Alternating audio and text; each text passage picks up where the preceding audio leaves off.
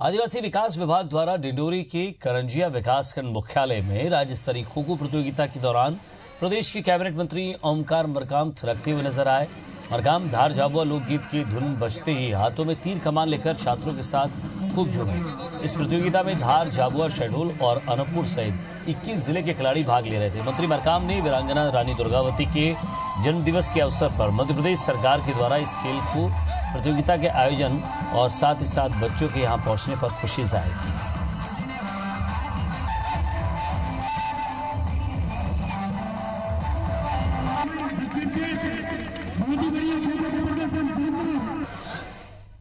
मुझे बहुत प्रसन्नता है। हमारे विद्यार्थी बहुत अच्छे खो खो में भाग लिए। मैंने एक खेल देखा, बहुत ही उच्च स्तरीय खेल प्रतिभाओं का मुझे नज़र वहाँ पे आया। बहुत अच्छे खिलाड़ी खेलते हैं